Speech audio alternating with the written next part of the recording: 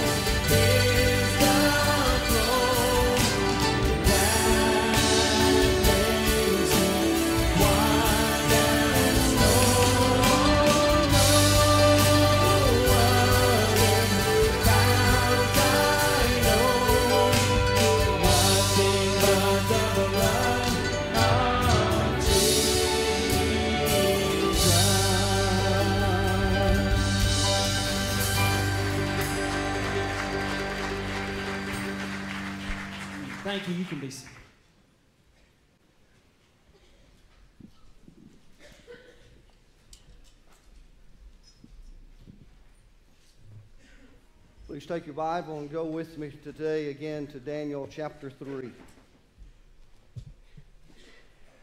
As we get a little bit closer to the end of the series, the series being Fired Up with Jesus, we've been looking at a very familiar passage of Scripture to most that gather here today and that have gathered over the last five weeks Shadrach, Meshach, and Abednego. Most of us have heard that story just about all of our lives. We grew up hearing about it in preschool departments.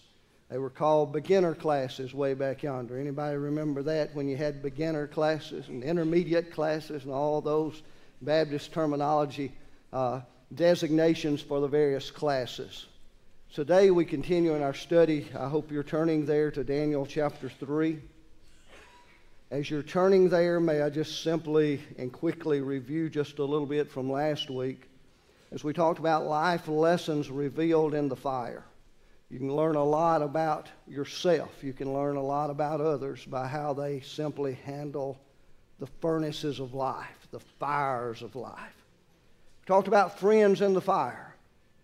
And again, I'm not going to repreach those things that were shared last week, but most of us, if we could count the numbers of those friends that would go into the fire with us, probably we could count them on one hand. And like I said last week, probably have a finger or two left over. I'm talking about that really and truly will go in the fire with you. A lot of people will talk about going in the fire with you. A lot of people will walk with you as you approach the fire.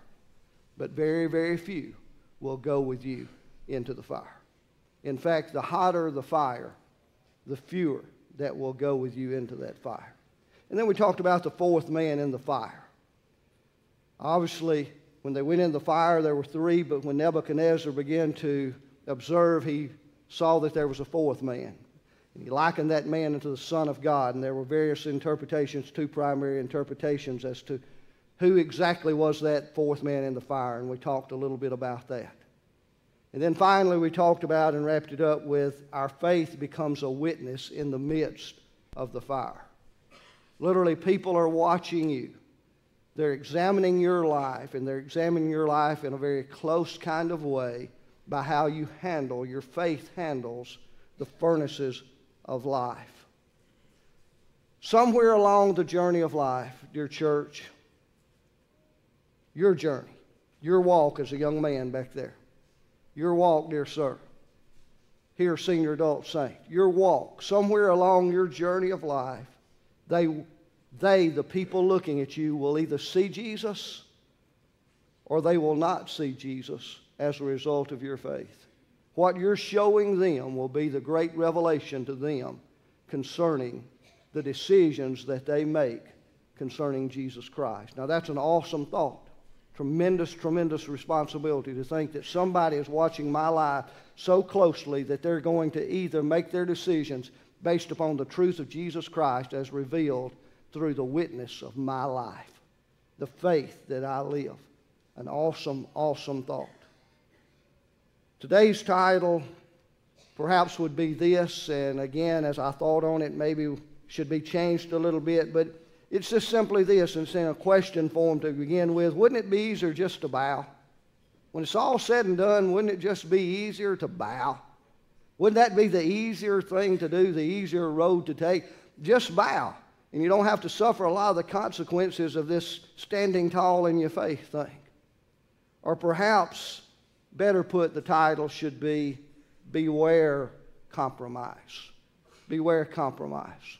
This passage of Scripture that we are familiar with, that we've shared during the last four weeks, this being the fifth week. This passage of Scripture, if I had to put a key theme to these verses that we've been looking at verse by verse, it would be this compromise. Because this was all about compromise. Are you willing to compromise? What are you willing to pay? What cost are you willing to, to give to keep from compromising your faith? Do you walk close to the furnace? Are you willing to step on the steps of the furnace? Or are you willing truly to go into the furnace because your faith will not let you compromise. I want to share something with you as I begin this morning, and it's going to call for your undivided attention, and it's going to call for you to do a little thinking. Uh, ben and I were visiting before we came over this morning, and he, he sh- shared something from one of my favorite preachers and writers, and his as well, Ravi Zacharias. And in his book, Jesus Among Secular Gods, Ben he read this, and when he read it to me, I said, Man, let me read that again. And I held it so I could read it and kind of digest it for myself. And I asked Ben, Would you mind making me a copy of that? And he took the time. Thank you for doing that. But I want you to listen very carefully how this applies. And I'm just going to say, when he wrote this book, he didn't have any idea what we'd be studying this morning. I'm just going to step out on that limb. I'm going to say that he probably didn't realize that a church in Lawrenceburg, Tennessee would be studying concerning compromising faith on this fifth Sunday of January. What do you think? Do you think he did, or you think he put this to pen and said, hey, there's a church in Lawrenceburg, Mars Hill Baptist? Y'all can make some kind of movement that you're alive out there. Help me just a little bit to know that you're living today, okay? All right, that's going to help me. The fact that you were willing to smile and laugh. But I want you to listen to this very, very carefully in the context of which we, that which we have been studying the past few weeks. I quote from the writing. As he writes, Zacharias writes, I will never forget talking to a former Muslim who had committed his life to Jesus Christ and who gave me a fascinating word picture. He drew two circles, two circles, and he put a dot in each one of them. Pointing to the first, he said, I quote, As a Muslim, I believe the circle to be my faith, and the little dot to be my life. Then he pointed to the next circle and said, Now, as a follower of Jesus, I've seen the difference in the cultural tension to many Westerners, the circle is his life and the dot is his faith. In other words, a Muslim believed that life was expendable, his faith paramount. The Westerner, he charged this, regards his life more important than what he believes. That is why he added, in his opinion, the West will ultimately be overrun. Faith in the West is sort of a extracurricular interest and a mere aspect of life for the sake of inner peace. But faith seldom enters the consciousness as a conviction. To me, those are some of the most powerful words that I've ever seen concerning the subject that we're talking about compromise. For most of us gathered here today, if we're honest, that applies to our lives more to me than I'd like to admit. Most of us find the emphasis being that large circle, our lives, and the dot being our faith. Our faith, just a portion. Now, we call it an important part, a vital part, but it's still the dot if we're honest. We're more concerned about this life than we are the dot, the faith. And then when he wrote concerning how a Muslim views that, that helps me a little bit to step across a cultural line. My goodness. Because they, and again, I'm not going to get in a world religion debate today, but in the midst of darkness, they have the understanding that the, the circle is faith and the dot is their life. And we in a Western world, a Western mind, an American mind, if you please, I believe it's absolutely true that for most of us, we have reversed that and we see the most important being what we do in this journey our happiness, our pleasures, all of those things, our rights, and on and on we could go. And faith is just a little dot in my circle of life. Now, you can debate that with me. You can argue that with me. You can send me emails. You can phone me. You can see me after the service. You can do whatever, but it doesn't change the fact overall that's the absolute truth as a whole. Faith is just a convenient portion of what we call our life. Wow. That's a double wow. And that applies so greatly, I believe, to that which we study.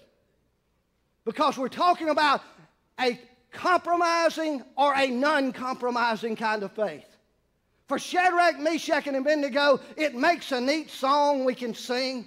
It can make a great southern gospel that Jake Hess used to sing. They wouldn't be and they wouldn't they wouldn't burn. Oh, it makes a great song. But I want to tell you the truth and the reality of the fact is that very few of us know anything about a faith that's an uncompromising kind of faith. A faith that will go to the furnace. A faith that will say, I will not bow, I will not bend to the pressures, be it Nebuchadnezzar or the pressures of this life. And I will stand. Why? Because the dot, the dot is more important than the circle. What I believe ultimately is more important than who I am. Because all rest in my faith. Wow. And we see three young Hebrew boys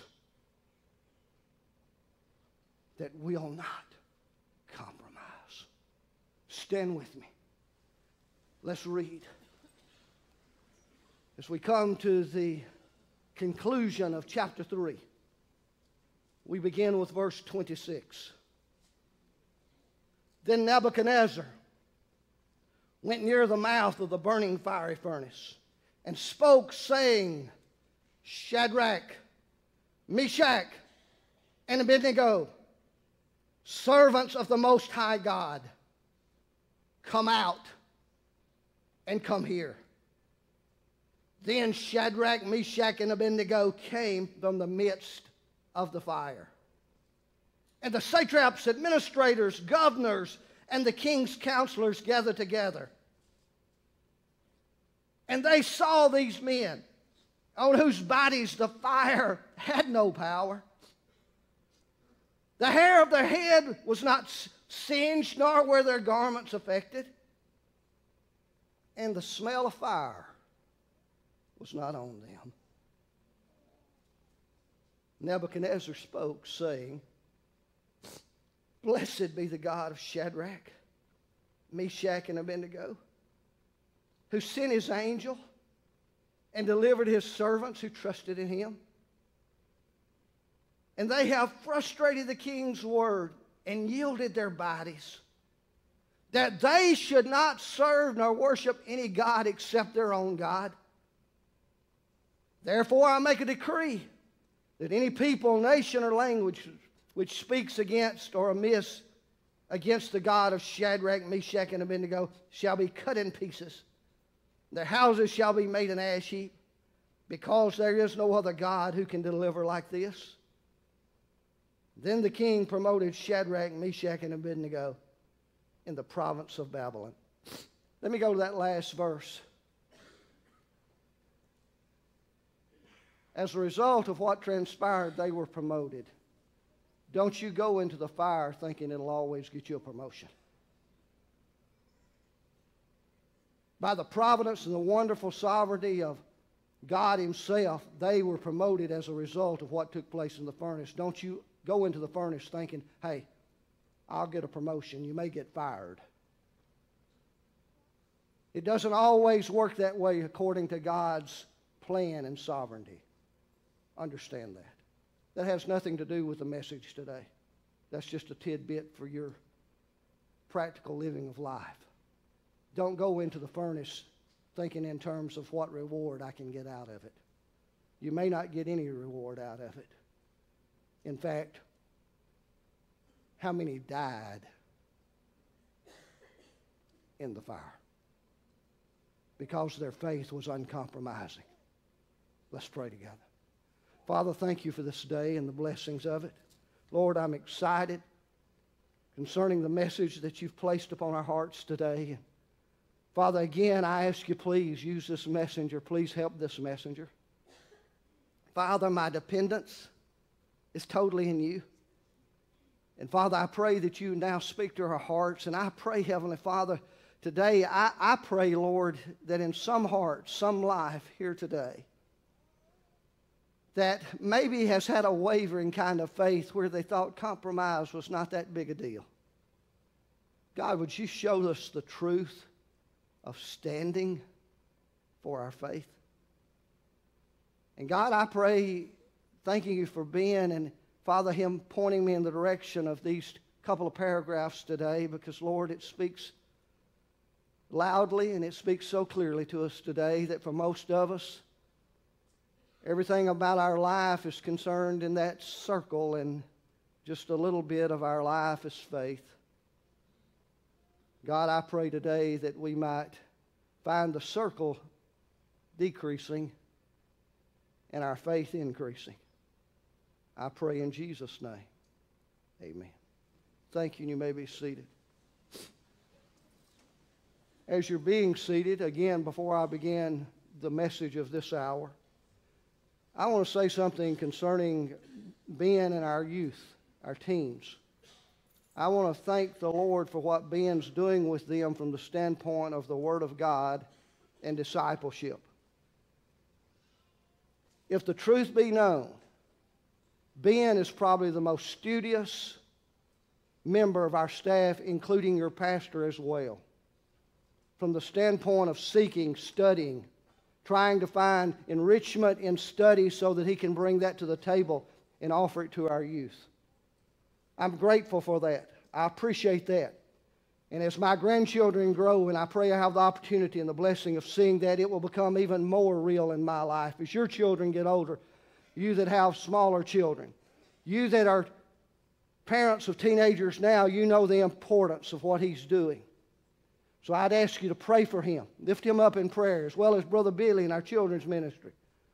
But lift Ben up in prayer. And you pray for him and the, the lessons literally that he teaches, the messages that he preaches. It's not a Wednesday night, come have fun exclusive time. It is an opening of the Word of God and the Word of God being expounded upon, preached. The very same thing that we're doing in here on Wednesday evenings, Ben's doing out there with our teens over in the youth department. So you be mindful of that. You be considerate of that. And I would just simply say this to you, not to offend anyone in this house, but the same reverence that you would give to this room, you give to that room on Wednesday nights.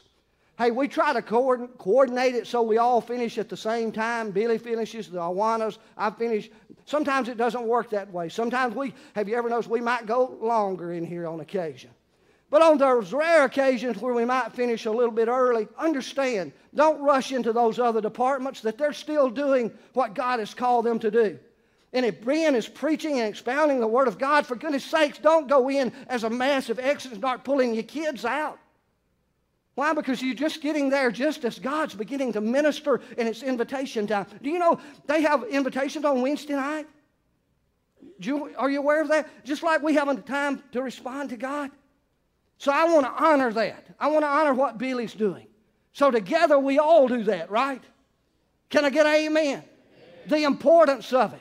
And it's absolutely important. I don't know of any group that it's more important for than our teenagers that's facing the battles of compromise like they're facing them in the world in the day in the time in which they live. So give Ben the respect that he needs. Give those teens the respect that's due them. And let's understand that we're all part of what God's doing. And it, and it may just be that as God finishes here, He may still be at work over there. So you be mindful of that, okay? Say, all right. Okay, very good. All right, let's go into the lesson today, the message of the hour. Let's talk about verses 26 through 30. These verses literally testify to the fact that your faith, your faith, the verses I just read, they testify to the very fact that your faith will enable others to see the truth. As a result of your faithfulness, others can see the truth as it's revealed through your life. They can see the truth of your life and not to be offensive, but the bottom line is this they can see the truth of your life or they can see the lie the falsehood of your life. So we need to understand how very important it is that we live out our faith. Verse 26, follow along with me. Look at it. Then Nebuchadnezzar went near the mouth of the burning fire furnace. Now, that in itself tells me this something's going on here that's unexplainable. You say, well, obviously it is. Well, you're not thinking in the practicality that I'm thinking. If I'm Nebuchadnezzar and the very best men I could select, the best of the best, those that were mo- most loyal to me, I handpicked them to see that these three men were put in the fiery furnace. And when these three men put Shadrach, Meshach, and Abednego into that fiery furnace, what happened to those men? They were consumed. They were killed. They were burned to death. So if I'm Nebuchadnezzar, I may be watching, but I'm watching from a distance. Verse 26. Then Nebuchadnezzar went near the mouth of the burning fiery furnace. Do you think he had the furnace extinguished before he went? I don't know. We can try to sort through it and fill in the blanks, but I'm going to say this. There was the reality in Nebuchadnezzar's mind and heart that something unexplainable was taking place here by the fourth man that he had witnessed in the fire. Are you with me? Something unexplainable. Something that he could not find the answer to, and he sought the answer, but the wisest counsel that could be provided to him by those close counselors, they were unable to explain what was taking place. So Nebuchadnezzar went near the mouth of the burning fire furnace. He calls them by name Shadrach, Meshach, and Abednego. And he tells them to come out. And he tells them not only to come out, but to come here. But found in the midst of those words are these words servants of the Most High God. Now, again, you can debate and you can do your theological commentary studies. And I know that they're still debating did Nebuchadnezzar really have a true, what we would call conversion? An experience of conversion to the Most High God. You know what? I'm going to leave that up to God and Nebuchadnezzar. All I've got to base what I'm sharing with you upon is the fact of the Word of God. And when I look at the fact of the Word of God and I search that out, I seek it out, I study it, then I know something is, a, is taking place. I can't explain all of it, but I think it's a fair assumption, and I know you get in trouble when you assume, but I do believe it's a fair assumption to say this that somewhere in this process, the fourth man in the fire, Nebuchadnezzar approaching the fire. Nebuchadnezzar calling Shadrach, Meshach, and Abednego out by name. Calling them out, come out and come here.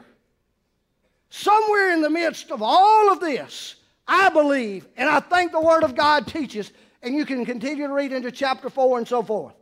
But I believe with all my heart that somewhere in this process, Everything that's been entrenched into Nebuchadnezzar about the gods, the little g gods, remember that back there a few weeks ago? All that had been entrenched in him about all these little g gods, something's beginning to change. From the standpoint of that, he realizes, recognizes, and he's trying to understand that there's no power of these little g gods that could do what he's just witnessed servants of the Most High God. I believe when he said Most High God, it was not just the fact of another little g God to be added, because there was something unexplainable, could not be explained about what had taken place in the midst of the burning fiery furnace. Wow. Verse 27. Now, here's, here's most of us. And the satraps, administrators, governors, and the king's counselors gathered together. And they saw these men on whose bodies the fire had no power. The hair of the head was not singed, nor were their garments affected, and the smell of smoke was not on them. Somewhere, the, all these dignitaries, the satraps, the administrators, the governors, the who's who, and all the king's counselors, they'd been watching from a distance. Simply watching from a distance. And now they begin to witness, though, what this Most High God had done. The king's counselors came together and they saw that which was unexplainable. They testified to this. These men, on whose bodies the fire had no power, the hair of their head was not singed, nor were their garments affected, and the smell of fire was not on them. Even though they'd been thrown into the midst of the burning fiery furnace, there was not even the smell of smoke upon them. Always have, I've enjoyed a fireplace. That may not be your thing, but I enjoy a wood burning fireplace. Always have. From as far back as I can remember, the wood burning stoves and those kind of. I just enjoy a wood burning fireplace. I like the smell of it. You know, a lot of people, uh, you know, oh, but, but hey, I love the smell of a wood burning fireplace. But you know what?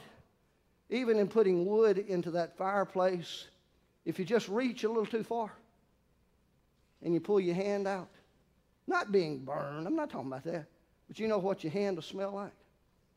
Just doing that, just and doing, you know what your hand will smell like? What's it smell like? It smells like smoke.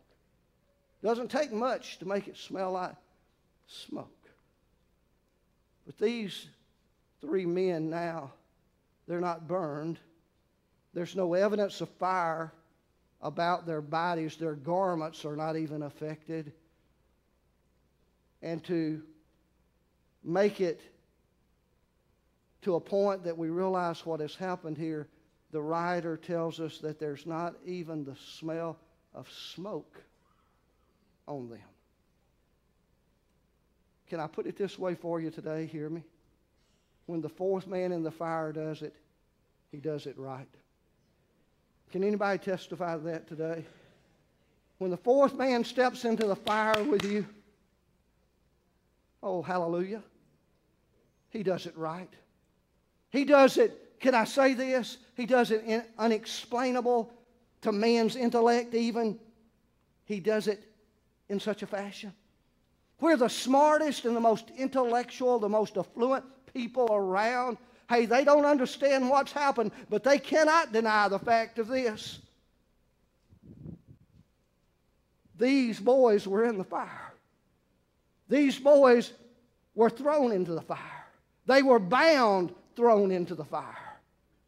But in the midst of that fire, a fourth man comes. And now they're loosed walking around in the fire. And when they come out, there's no evidence that they've even been in the fire. There's not even the smell of smoke. So that sets, again, the avenue for the message of this day. Verse 28 Nebuchadnezzar spoke, saying, Blessed be the God of Shadrach, Meshach, and Abednego, who sent his angels, and he's trying to figure out this fourth man, and delivered his servants who trusted in him. And they have frustrated the king's words and yielded their bodies that they should not compromise. They should not worship any God except their own God. Now, there's an underlying message there if, if we'll glean from it and, and see it and realize it's a nugget that we can pull out. You see, a prideful, proud, arrogant, pompous king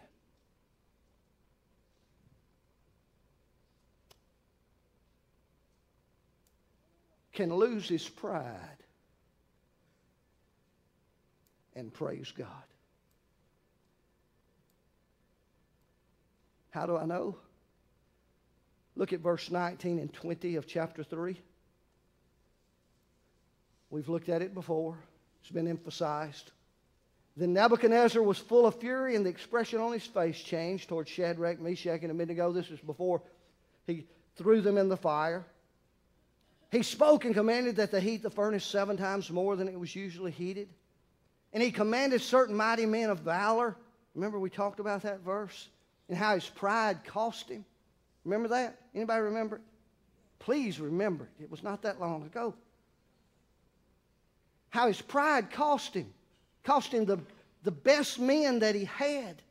Because he didn't want to take any chances on these guys escaping. He had them bound and had them escorted personally with the best troops that he had, the elite forces of his, of his military. And those men lost their lives. His pride cost him dearly. Nicodemus was full of pride. Anybody with a gall that would have a 90 to 100 foot tower raised, an image raised, in his likeness more than likely. I think every, all the evidences point to that as I shared with you, that it was literally, he was raising himself up as a God. And all you've got to do is bow. And he made the decree that everyone would bow at the appropriate time. But these three young boys would not. And his pride began to swell because he saw them as standing in an allegiance that he wanted no one to stand in an allegiance against him. And his pride was wounded that they would dare do this. And he had that furnace heated seven times hotter than the norm. The norm being enough to consume a human body, but seven times hotter than was the usual. His pride was at stake. Can I say something to you? That I have said many times from behind this sacred desk. God can knock the pride out of you. He can knock the strut out of you. Nebuchadnezzar was strutting with the image. Now I want you to do something with me. I want you to fast forward. Chapter 4. Chapter 4. Verse 37. Last verse of chapter 4. Nebuchadnezzar's testimony.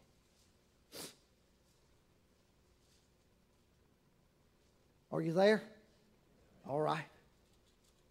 Now I, personal testimony, Nebuchadnezzar, praise and extol and honor the King of heaven, all of whose works are truth and his ways justice. Check that next sentence. And those who walk in pride, he is able to put down. Nebuchadnezzar was just offering a personal testimony. This is what God has done. And he used the faith of three young Hebrew boys for that truth to be revealed. I ask you today, who are the three young Hebrew boys in your life that reveal truth to you? But a better question would be this who are those that are watching you and seeing you as one of those three young Hebrew boys? And they're making their determination about God Almighty based upon what they're seeing in you. They're making the determination that Jesus is either real or he's fictional. He's either true or he's a fantasy based upon what they're seeing in your faith lived out in the workplace, the play place, the praying place, all of those many, many places. Nebuchadnezzar's testimony was that he was a man of pride, but God had shown himself to him. And he used three uncompromising young men that would not compromise their faith to become the great revelation of truth into this mighty king's life. So I offer to you today things for your consideration. One, faith being revealed, as it's been stated before. Faith that's revealed in your life. Every day you're revealing your faith to someone. You're showing your faith to someone every day. It's being revealed. That faith being revealed is either one of two things it's a non compromising kind of faith that shows Jesus is a part of your life in everything you do, or it's a compromising where the circle becomes more and the dot becomes less in your life. Which would it be? A faith that is revealed. And perhaps, listen to me carefully, there's no place like any other place where it's revealed any truer than when we're called upon to enter the furnace. Because most of us will compromise before we ever get to the furnace. We're backing up, throwing in the white flags of surrender. We're heading back to Egypt. We're singing the blues. We're singing Chris Kristofferson, Why Me, Lord? And we never even get to the furnace before we compromise. But these three young men were unwavering in their faith. It didn't matter what it cost them, if it cost them their very lives, their faith was worth dying for. And the dot got bigger. Where the dot consumed, are you listening to me? Thank you, man. Where the dot consumed the very circle instead of the circle consuming the dot. For them and for us, faith will be revealed. Secondly, again has been stated, faith becomes a witness. Your faith, I don't care if you're a truck driver, a plumber, a teacher, a doctor, a secretary, a pastor, self employed.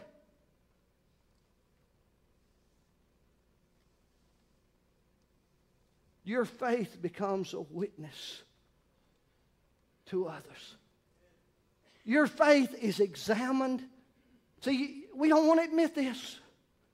We don't want to entertain the thought because it puts some kind of conviction in our life if we have to entertain this thought, so we'd rather just not think about it. And we've, we've made the excuses well, not everybody can be a preacher, not everybody's a missionary, not everybody's one of those church folk.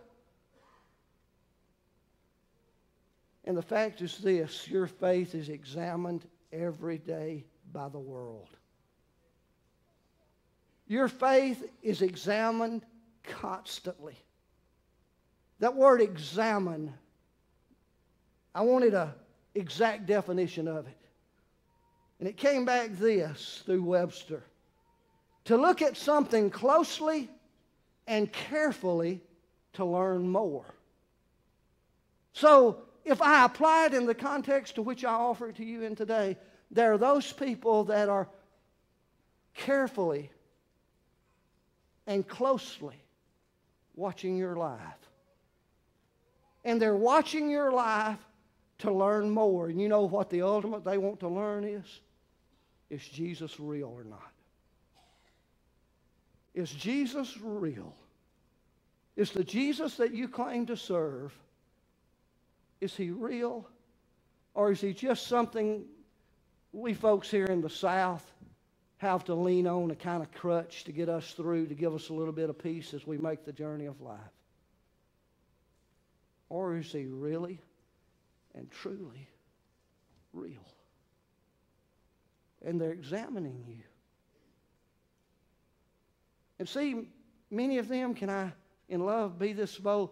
Many of them are never going to come inside these walls to make an examination about how good the choir is or how good it's not or how the preaching or the ministries, of are. they're not going to come inside of here. So they're going to make their determination based upon what they see out there. And God, if you would help me to wake up to that,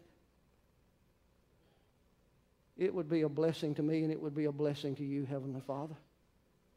To understand that people are watching, examining closely and carefully so that they might learn more, ultimately, learn more about Jesus. Number three, Faith that will endure is a faith that will not compromise.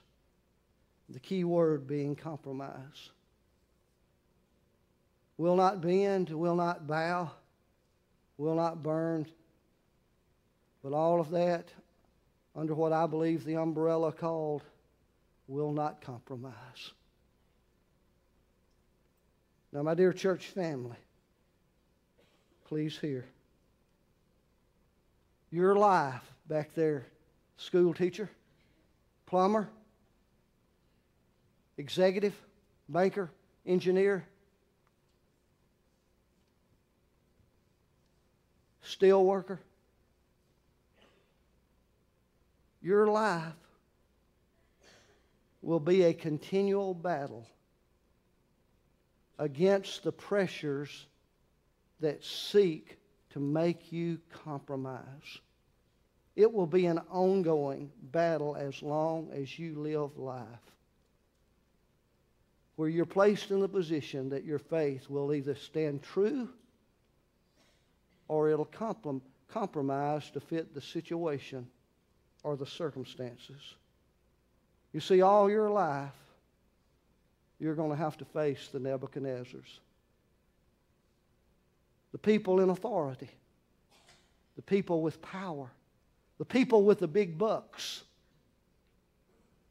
And those people will use that power, that authority, financial means, to try to bring you to the place where you'll compromise your faith using position and power to get you to compromise. But you see, that's not the only ones that'll try to get you to compromise. You see, some of you have friends that you hang tight with. Now, don't let this blow you away, but some of them attend church.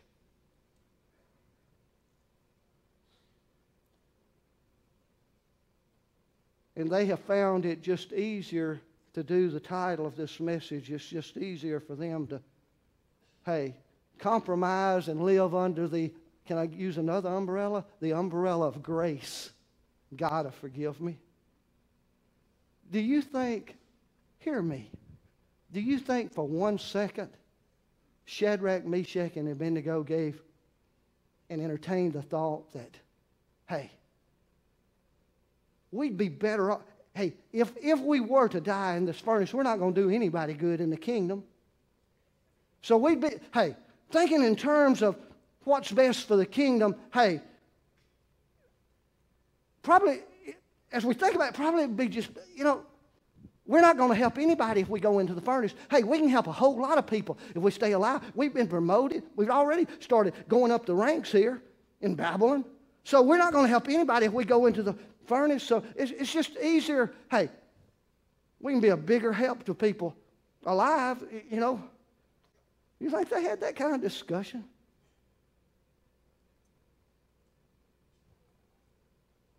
I don't think their faith would let them have that kind of discussion.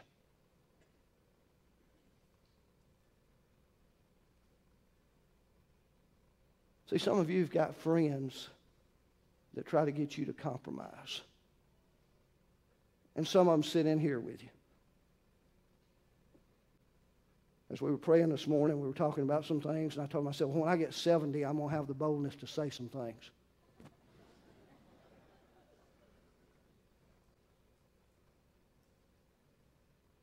But some of you got friends right here. Now, they don't wave, Here I am, Nebuchadnezzar. But they just kind of pull you a little bit trying to get you to compromise.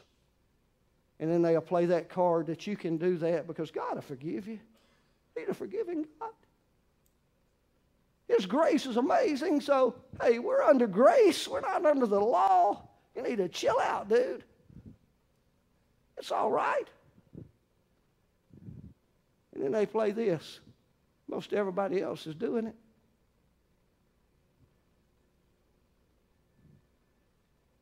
I wonder how many thousands of people bowed to the image.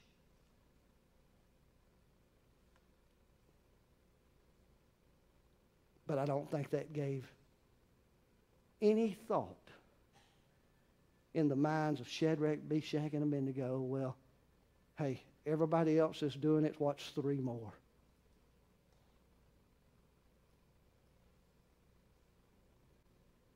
Do you have the guts? Can I use that word? Can, do you have the guts to be a Shadrach, Meshach, and Abednego in your world? Do you? I'm, I'm talking serious to you. Because it's a whole lot easier not to be. You'll get more business if you're not. That's just a simple fact. You'll get more applause if you don't. The world will put all kinds of accolades by your name. All you got to do is compromise a little bit. And shoot, we Baptists know this. You can still go to heaven even if you compromise. Because we are once saved, always saved people.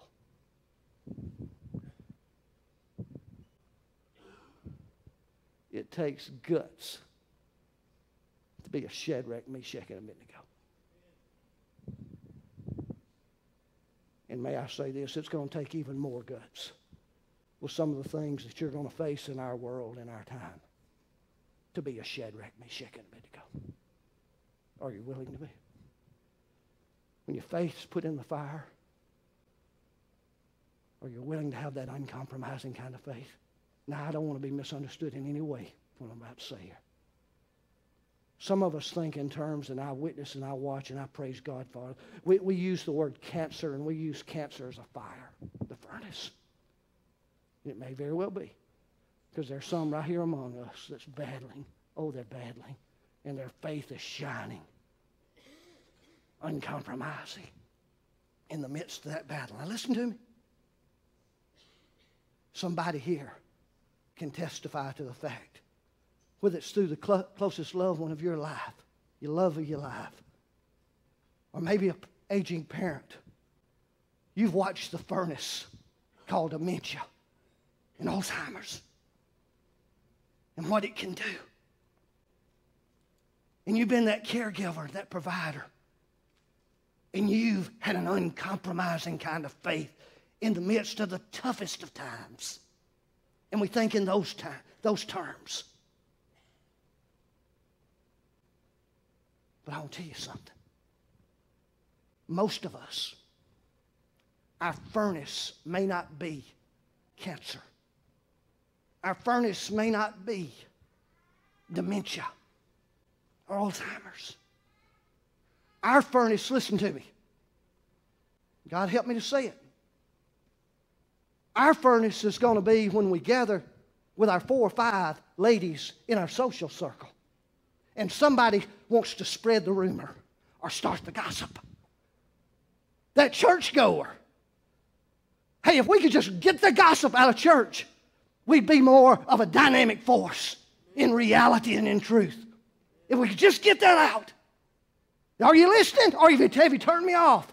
Because you want to think the furnace is only those big furnaces in your definition.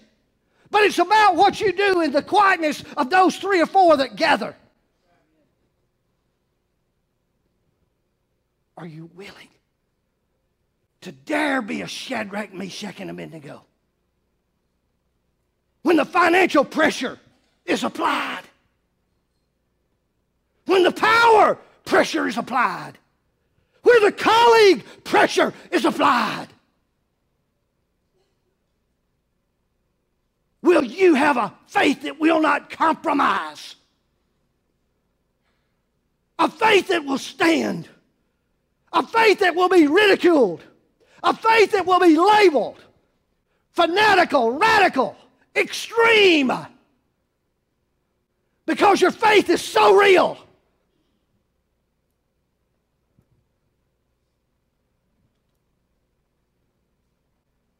If ever a day in time where we need God to raise up from among our midst the Shadrachs, the Meshachs, and the Abednegos that will not compromise no matter what the circumstances, that will stand in their faith, not calling attention to themselves that I'm holier than anybody. Far be it, it's the exact opposite. But I've been blessed with a revelation that there is one mighty God. And in that one mighty God, I rest everything that I am. And my circle has decreased that my dot might increase. Because my life is about that dot, my faith in Jesus. And I want to show it if I'm called on to go into the furnace of cancer, as I've witnessed so many here. But I want to show it by the way I live my life and the character displayed by the decisions that I make. Where faith is not just a tag at the end of my life, but it's the absolute of all that I am. A faith that's real, young man, that stands no matter what everybody else is doing, no matter how affluent the people that try to pull you are. Your affluence is not found in man, your affluence is found in Jesus Christ and your position in Him as the Savior of your life. Your identity, listen to me, your identity is not found in being a part of a select little group of who's who.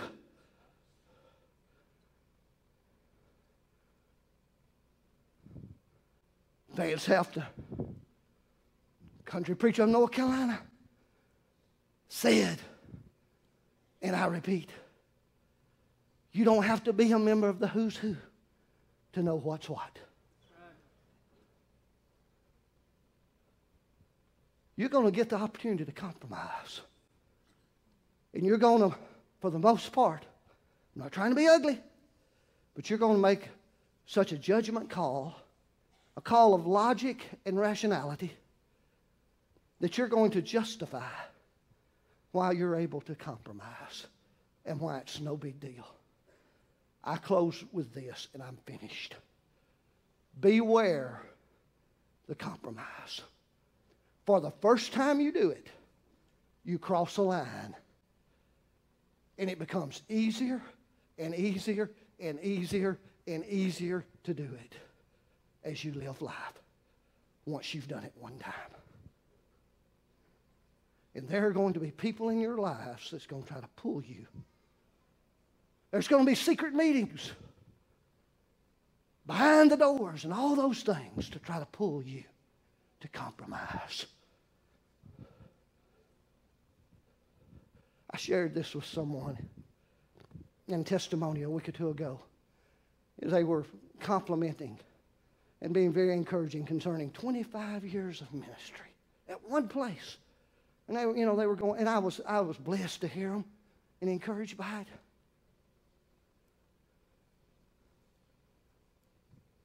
But I also understand this one compromise can ruin 25 years. Are you hearing what I'm saying? Are you hearing back there? When it's no big deal. And I told them this, and please don't think little of me, but I told them I'm 60 years old, but I still have a fear, and I know God hasn't given us a spirit of fear, but I'm being honest, I still have a fear, and my fear is this a failure that I fail my Lord. And it doesn't matter how many years you've done it, if you compromise in the end. I don't want to compromise. And I sure don't want to live life where it becomes easier once you compromise to just begin to compromise and compromise and compromise. I don't know about anybody that's listening to me. I don't know if anybody wants to hear it. Do you know what God lovingly told me? It didn't matter if you wanted to hear it or not. Now, when I get 70, I'm going to be bold enough to say that, Miss Polly. Beware the compromise. Let's pray. And as we pray, I'm going to ask God to give us courage about this compromise thing. Is compromise using the Lord's name in vain when you're among your buddies? Or maybe it's when you use the Lord's name in vain when you're out of town, working that job out of town, and nobody knows you. Is that a compromise when you do that? When you call the name of God and you do it in a vain kind of way, whether it's through profanity or not, and, and you do it in such a fashion that He's not honored or blessed by it, is that not compromise? Is it not? Is compromise not when you manipulate the situation and the circumstances to accomplish your purpose at the end that'll benefit you? Is that not compromise? Is that not compromise when you gather quote unquote friends around you that you manipulate circumstances to accomplish your purposes? And you do it under the justification of what's best for you or maybe best for your kid or whatever? Is that not compromise?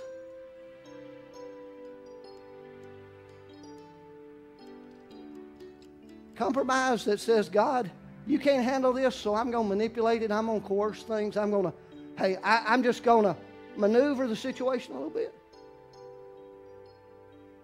Well, I hadn't really thought about that, Brother Mick. Well, you need to think about it. Compromise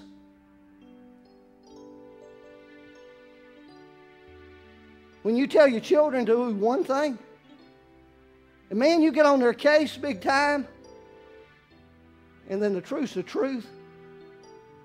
And when the door closes and they go to bed, you're a bigger hypocrite than they ever dreamed about because they're not hypocritical. You're the hypocrite because you're telling them one thing and living another thing. And all the time telling them how important their faith is. Because your faith, you tell them, is anchored, but it's a compromising kind of faith. How about it? Nobody said the furnace was going to be easy. And nobody said the lessons of the furnace was going to be easy. One young father is at the altar praying, another one's on his feet coming. How about you? This is not a sermon for somebody else, this is a sermon for each of us individually.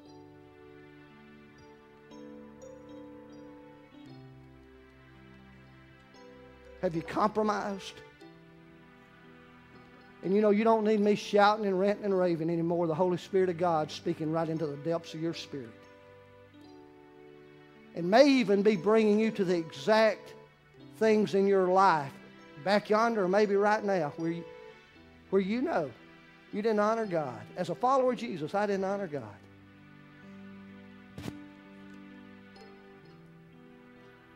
You need to come, you come. Hey, this is a get real with God time this morning in this invitation.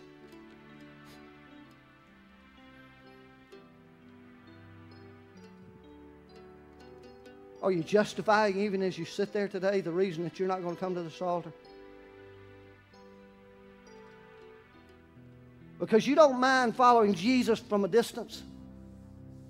You don't want to get too close to him because of what he might ask you to do, or because of what he might call upon you to do and you're just content and comfortable, hey, I'll just follow him from a distance here. And it's really no big deal. God, show us today. Please use this country, bumpkin of a preacher, to help these dear people of God to understand any compromise is a big deal.